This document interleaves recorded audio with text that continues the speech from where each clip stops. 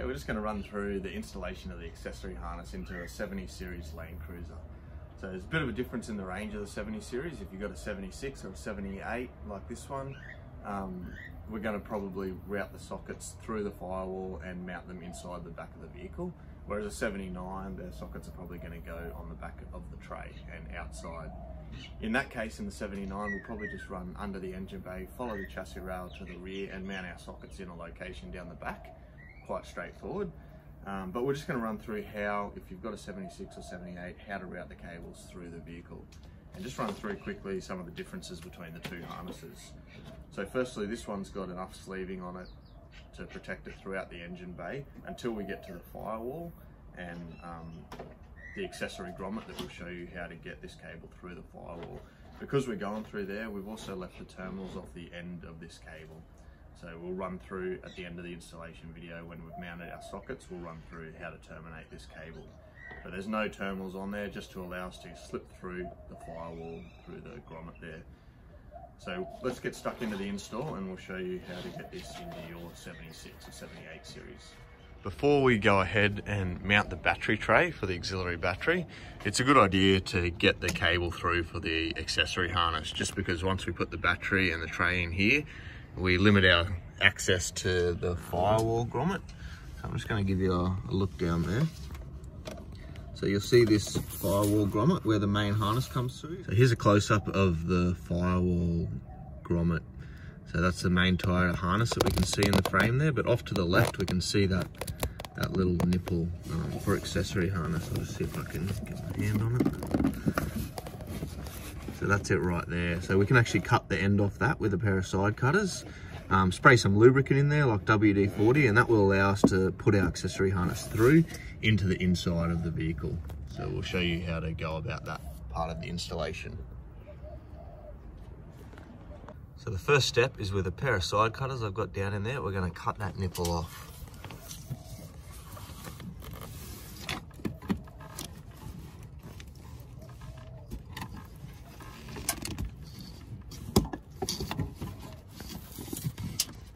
Okay, we'll cut the off that nipple.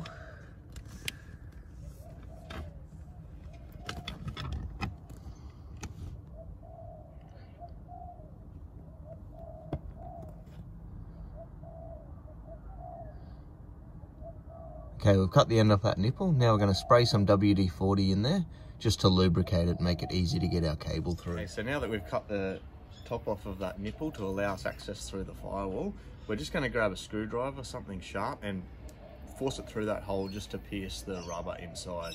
And then we'll put some WD-40 through the hole and also down the lead. So I'll just go ahead and do that, and then I'll give you a close-up.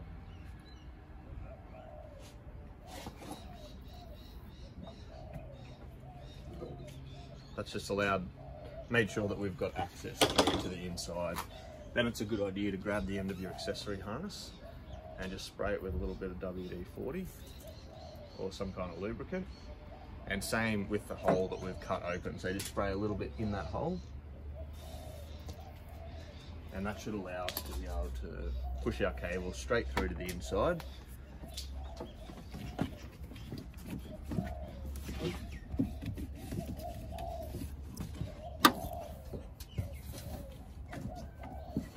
So we're through.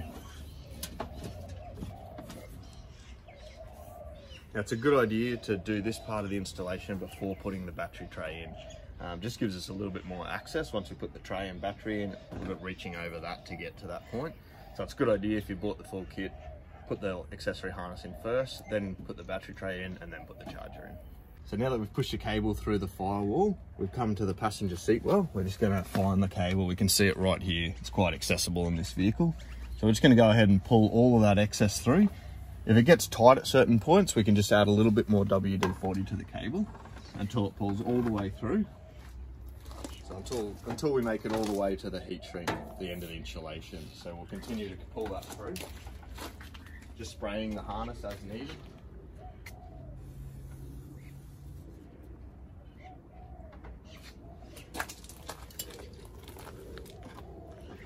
Continuing to pull, you'll see how much easier it comes once you've lubricated that harness.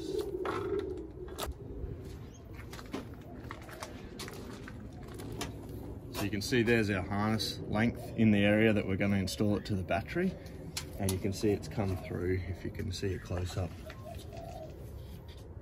You can see the harness has gone, the heat shrink's gone right into that grommet, making it a good, good seal still.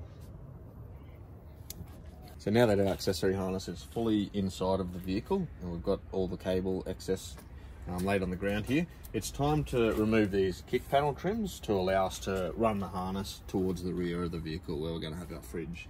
So these are just plastic clipped in, so if we just get our fingers in behind and just work our way down, we're going to feel the clips start to release. So once we feel one in the center, we can work our way to one end and then work our way back to the other end and I'll show you a close-up of these clips once we get it out. So it's just lifting upwards now with my hands. And you'll see the plastic clips just sit into those holes. Sometimes a clip will remain in the hole and it's just a matter of using um, a pair of side cutters under it, pop it out and just slide it back into its plastic housing. So we'll just set that aside. And the next thing to remove is just the kick panel here. Now there's just one little plastic nut in there, which I'll just duck in and remove and I'll show you. Not sure if you can see that, but it's just that nut. So just set that aside. Once that nut's removed, it's just a matter of pulling this panel towards us. So we'll just put that out and it comes out quite easily. Once again, we'll sit that aside. So now that we've done that, we're going to start by cable ties. So these are the cable ties that come in the clip in the kit. Um, just under here, under the air cleaner, you're going to see a wiring harness. That's probably our first point to um, cable tie to. So we're going to start routing this cable towards the back. So for now, I usually just put my cable ties on loosely for now, um, tie them all up later. And we're going to just follow existing wiring. There's a fuse box here. You lift up this carpet and you'll actually see an existing wiring harness. So our main goal is to follow this towards the back. So the best way to do that is we can actually lift lift the matting here. So you can see those plastic clips are just holding the matting in and that exposes our wiring harness. So we're basically just gonna leave enough length and just sit our harness in with that one and we can reinsert that plastic. Another one there, sitting it in with the existing harness. Like so. Once we get to the center pillar in between the front and rear seats, it's a matter, you can actually tuck it under there or we can try and thread it through um, which looks like it's going through quite easily. So once you think that you've pushed enough cable in through this end to be around the back position, we'll go and take the back panel off. Same deal with this one, just two, two plastic clips. So we're just getting our fingers in there till we can try and release those clips like that. Same as the front one. If we lift up that plastic panel again, we might start to see our six mil twin. If it hasn't come through, I'll just try and feed a little bit more. You might see it coming.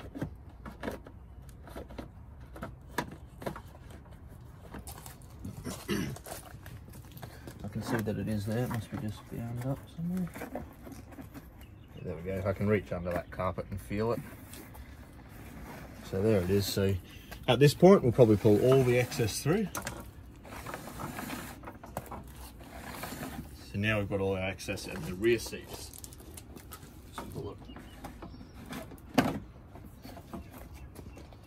And just going back to the front to make sure we haven't pulled it too tight, that there is slack.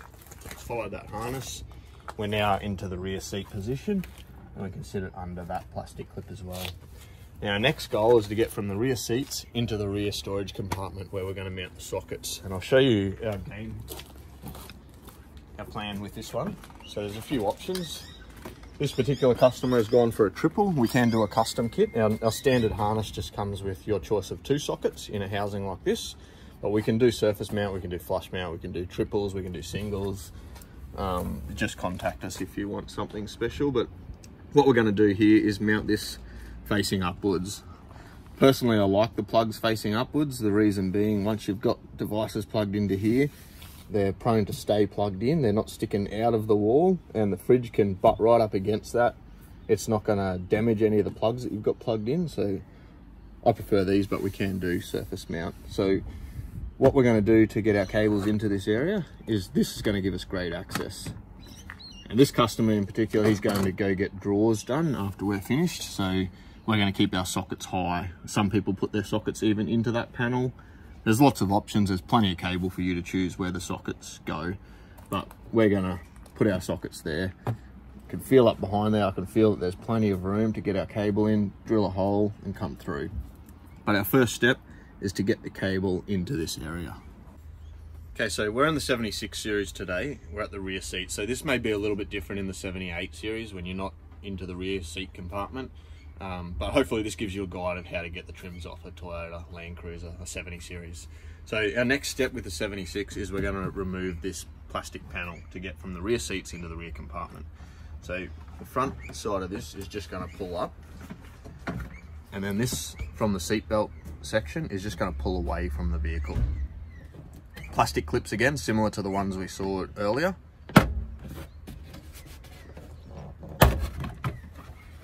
That's that panel removed. So that gives us full access up into here. Okay, once we've got that panel off, you can actually see that wiring harness is still continuing. So we've got something to tie to. We can tie our harness along with that and then re reinsert that panel. So for now, I'm just gonna lay our cable in the route that we want it to be And then I'll come into that rear compartment. So I usually cable tie right at the end. So I'll come around to the rear.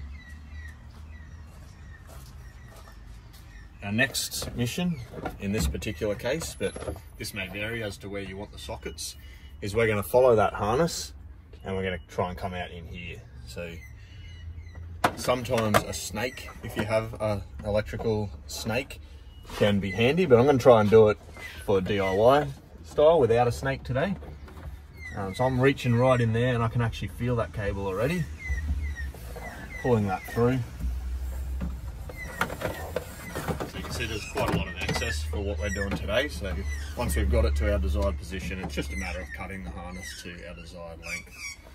So now that I've got the harness all the way to the back, this is when I would then tidy up every, all the way to the front now by cable tying, reinsert the panels so that I know I've got the exact amount of cable that I need to go into my sockets. So let's go and put those panels back together. So now that we've secured the harness with the cable ties, it's time to put our plastic paneling back on. So if we take notice of the panel we took off, we can see the two plastic clips.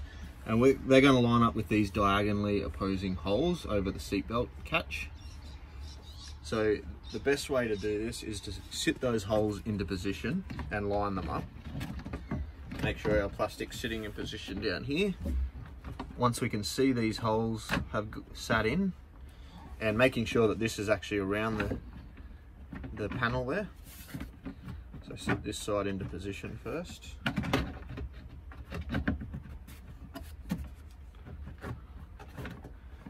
Now I can see that plastic clip is in its hole. I just want to get a visual on that one.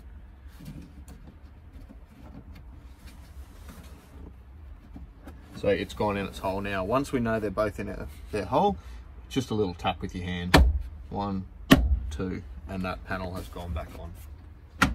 Same with our plastic panels on the kick panel in the driver's seats. So this is our rear one, two clips. We want to line those holes up at the bottom making sure the guard is over the plastic in front and behind it. Now that we've seen those go in, same thing again, just a little tap with our hand and they're locked back into position. We'll shut the oh. door, we've finished in the rear now. So we'll just reinsert into the wiring harness cavity our new cable. Make sure the white clips are back down. Um, this one, before we put this panel on, at the front we need to reapply the kick panel. So we're just going to go, that 6 mil stud comes out of the body, so the first thing we want to do is line up that stud.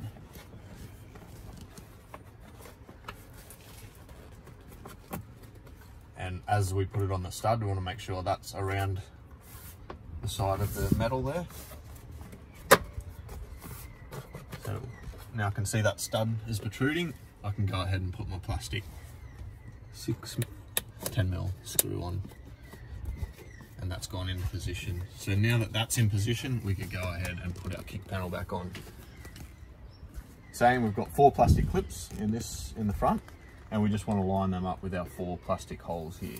Ah, oh, sorry, our four holes into the body.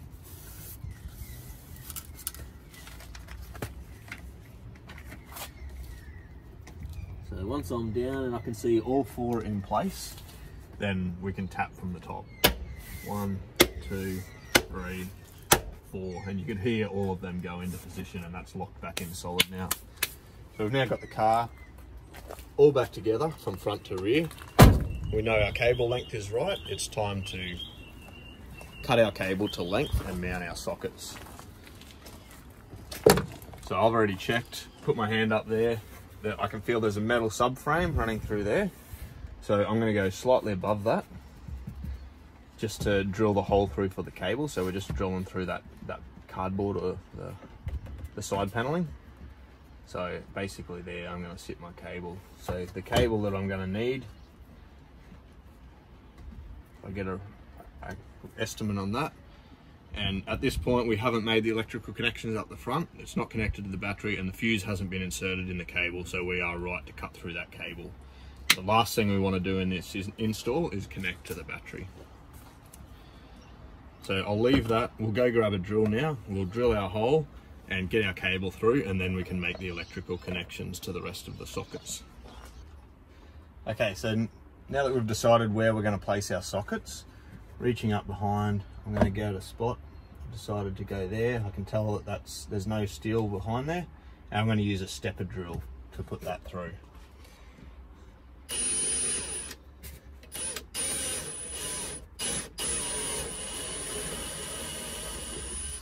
So there we go, I've got a little hole into our side panel there. And now I can reach up with my hand and poke this six mil twin out through the hole, like so. so yep, we've got pretty good length up there. So next we're going to strip a portion of this. Now this is our only electrical connection that has to be made. Um, so there's two small harnesses in the kit that loop from each socket. So that's these ones here, and they'll be already already connected on your kit. Um, you'll just have to link to the third one. So what we're going to do is you'll see a harness like this protruding out of your sockets.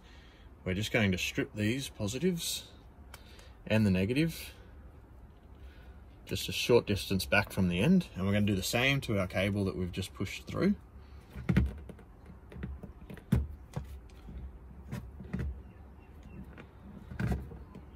so.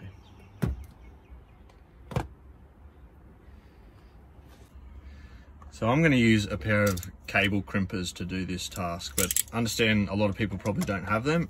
Any like fencing pliers, electrical pliers will do the job. I'll just show you what to do at the end. So you'll see these are included in your kit. Um, what we're going to do is join these two wires together. So having the insulation matched, the copper matched, um, one way to know how much to strip is to look at the side of that terminal. You can see the steel inside there. Um, so we just want to crimp, we just want to strip basically enough. So twisting those two together often helps to get the terminal on and then twisting the same direction as you put the terminal on. And yeah, so I would use electrical crimp crimpers if you've got them, but if not, we can do the same job with some pliers, just crushing that terminal down. Most important thing is just once you've done it, just give a tug and make sure you have got a good crimp there, good solid crimp. And then you can go ahead and put the heat shrink over if you want to um, just label them positive and negative. So I'm going to do the same with the negative now. So once again, lining the insulation up, twisting clockwise and putting the terminal on by twisting clockwise will allow all the copper to go in. Once in, we're crimping with the yellow. So using yellow terminals, we're matching it with the yellow if you've got a pair of crimpers. So we'll just go ahead and shrink that heat shrink down. That can be done with a cigarette lighter or if you've got a little blowtorch.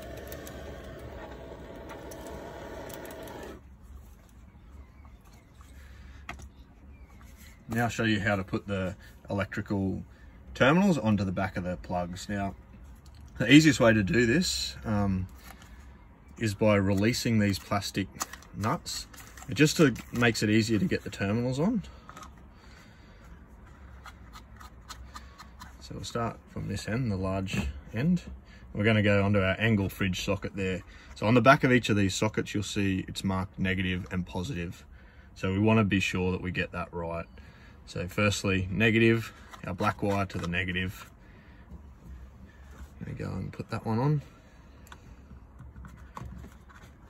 And our red wire to the positive.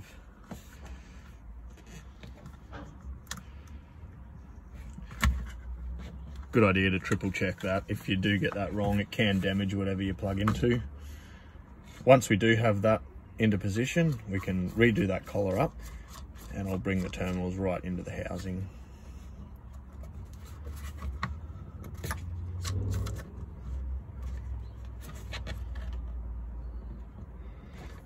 Collar up nice and firm. So then we can go down the line, almost like a daisy chain. We're going to undo this collar,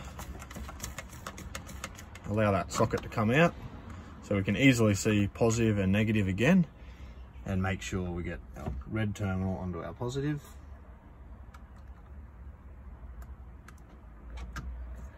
And the next black terminal onto our negative.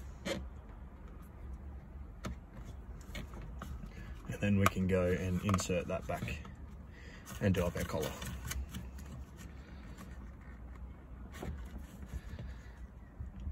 So we've got an Engel fridge socket there on this particular instance. We've got a 12 volt socket, just a cigarette lighter socket.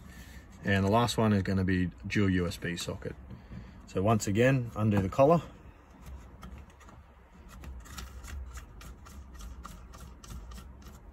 Push that out.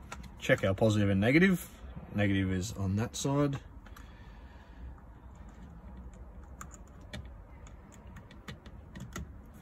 and our positive is on that side.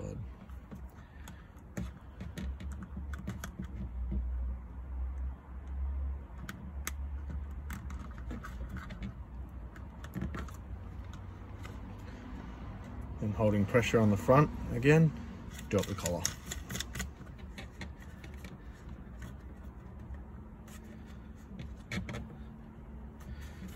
And then we can push the excess just inside so that it's all incorporated inside the housing and we can go and secure that up into position. So also included in the kit is a couple of different screws. You'll have a couple um, black ones to go into softer material. Um, there'll be some other screws for metal that have um, teeth that will actually drill themselves through metal, tech screws. So in this case, we're going straight into a soft material. We're going to use the black ones. And I'm going to sit that right about there for him.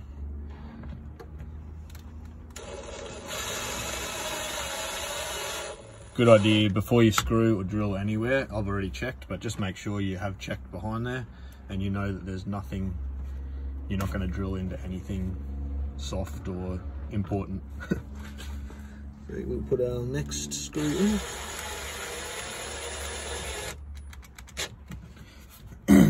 and it's a good idea at the end too just to have a feel up there once again and make sure you haven't make sure everything's out of the way and secure.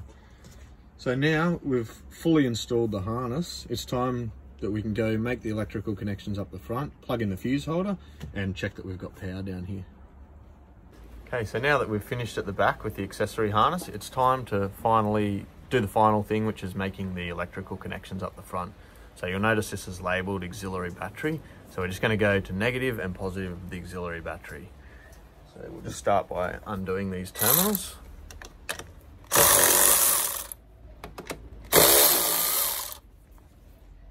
And one at a time, I'm gonna do the positive first.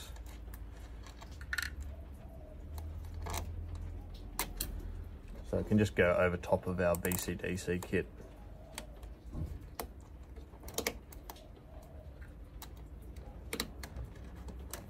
One thing to bear in mind at this point, it's good to leave the fuse out. So you notice we don't have the fuse in yet. That should be the last thing we do. So once we've made these electrical connections,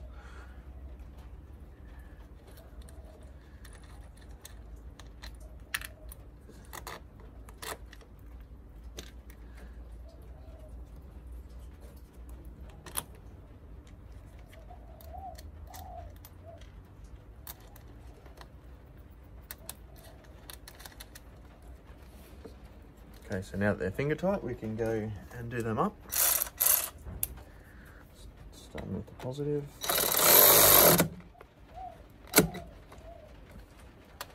And the negative.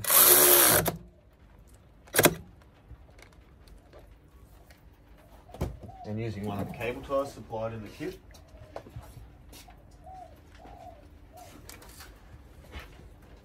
We'll secure this fuse holder so that it can't move around.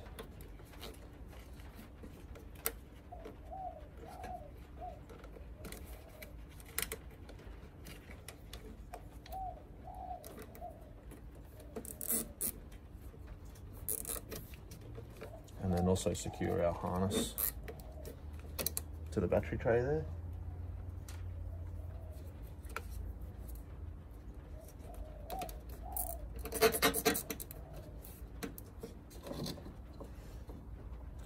And maybe another cable tie on that rear arm of the battery tray.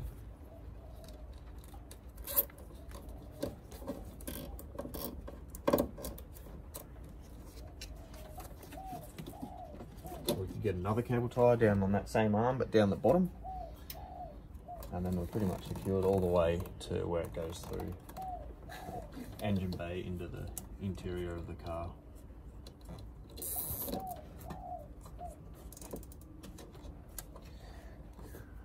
And then we just cut the ends off our cable ties.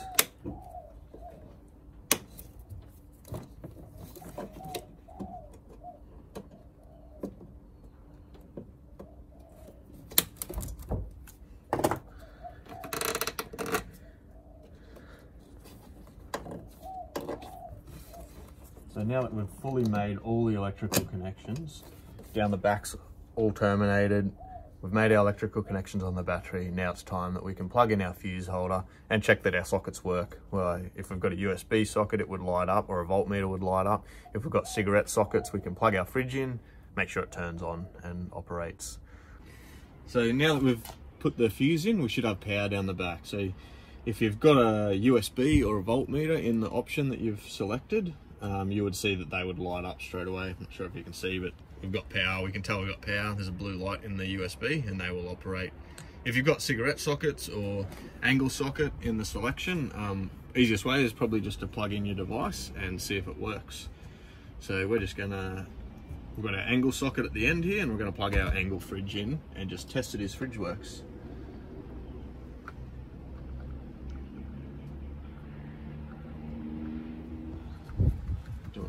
Collar.